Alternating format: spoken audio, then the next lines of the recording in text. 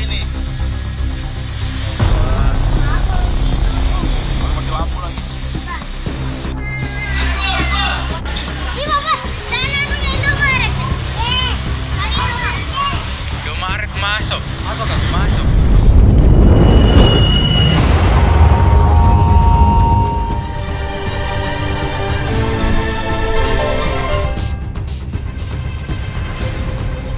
Banjir di Torwe Parigi Motong Malang ini, suasananya mencekam.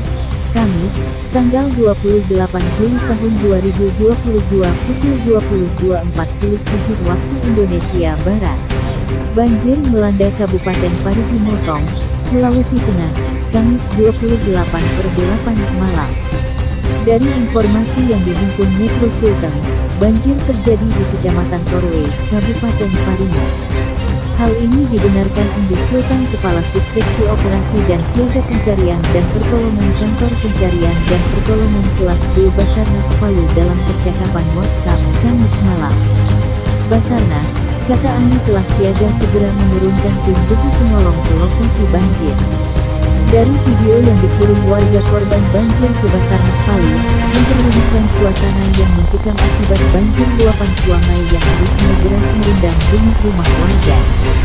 Warga menginfokan barisan banyak warga yang terjebak, situasi gelap gulita karena listrik padam, belum ada petugas di lokasi banjir, demikian bunyi pesan warga melalui WhatsApp yang dikirim ke Basarnas. Banyak warga yang terjebak sepertinya di Torwe bagian atas. Saya barusan telepon teman di sana, kampung bagian bawah ketinggian air sekitar lutut orang dewasa, tambah pesan tersebut. Dalam rekaman video lainnya, seorang perempuan korban banjir minta tolong sambil merekam suasana motor yang tenggelam terendam banjir. Pak bagaimana orang ini pak, minta tolong pak, teriak suara perempuan korban banjir. Pemilik akun FB Kias juga menyampaikan agar info banjir ini segera disampaikan ke Basarnas. Tolong bantu sebarkan sampai ke Basarnas.